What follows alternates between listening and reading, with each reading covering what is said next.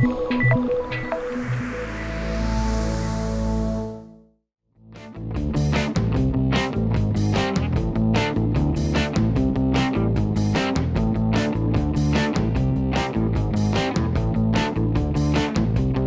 안녕하세요. 저 로봇소리에서 어, 해관 아빠 역을 맡은 이성민입니다. 반갑습니다. 국정원 요원 어, 진호 역을 맡은 이희준입니다. 어, 좀 새로운 영화였던 것 같아요. 예, 예, 로봇이 나온다는 얘기가 예, 굉장히 관심을 자극했고요. 예, 어, 지금까지 뭐 한국 영화에 잘 없었던 장르이기도 하고 어, 그래서 이때다 싶어서 어, 처음 해보는 거 해보자 해가지고 에, 상대가 기계, 기계다 보니까 아, 여러 계산을 해야 되는 건데 감독님이 처음에 캐스팅 하셨다 제안할 때 생각했던 이 기억이 사실은 현장에서 이루어졌던 것 같아요.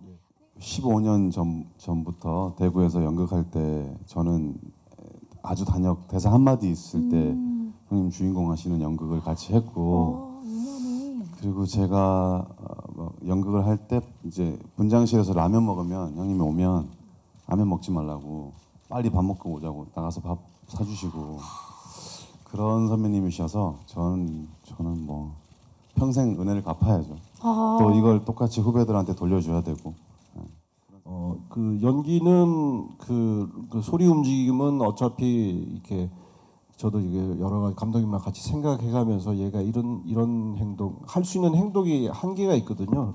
저 로봇가 뭐 관절이 다 움직이거나 그러지 않으니까 그 이런 이런 걸 하면은 어떻겠냐 해서 상의해서 했었고 어, 소리 목소리 같은 경우는 그 voice actor가 한 명 있었어요. 예, 그 연기를 할 수 할 수 있는 그 그런 친구가 있어서 그 친구가 늘 현장에 와서 어, 저랑 그 대사를 맞췄었고 어, 그렇게 했던 이유는 어, 뭔가 그 로보트와 저가 어떤 그 즉흥적인 것들이 생길 수 있다고 저는 좀 이렇게 생각을 했던 것 같아요. 그래서 어, 그, 그 voice actor가 해주는 것이 그 뭐 많이 도움도 됐고 또 현장에서 즉흥적으로 생겼던 그의 애드립도 있었었어요. 예, 그래서 생긴 장면도 있고 했는- 했는데 결과적으로는 어, 그런 식으로 작업했던 게 조금 더 도움이 된- 되지 않았나 어, 그런 생각을 했습니다.